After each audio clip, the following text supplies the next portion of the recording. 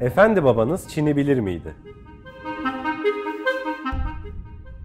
Çin birçok şeyi ithal ediyor.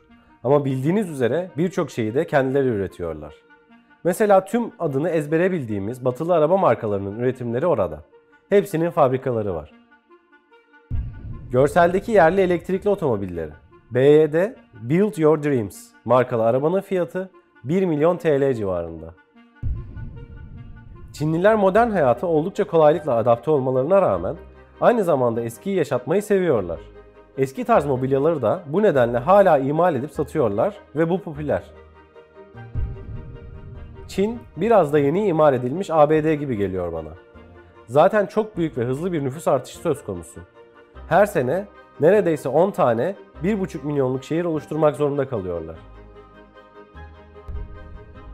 Büyük binaların ön yüzleri komple iletişim ekranı olarak kullanılıyor.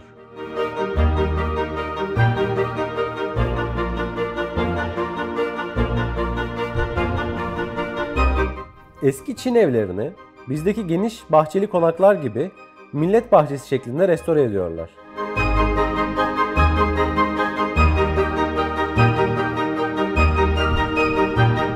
Şehirlerde ise modernleşme etkisi her yerde.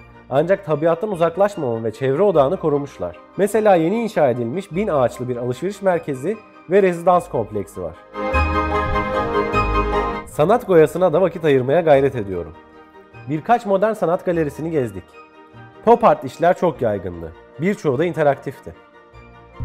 Müzelerinde kendi üretkenliklerinin yanı sıra dünyanın dört bir yanından eserler de ödünç getirmişler.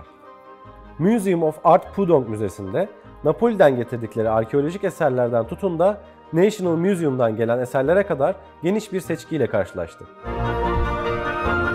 Tabii market goyası da yaptık. Costco, Walmart gibi dünyadaki en ünlü market zincirlerinin şubeleri orada da mevcuttur. Çin'de Godiva popüler.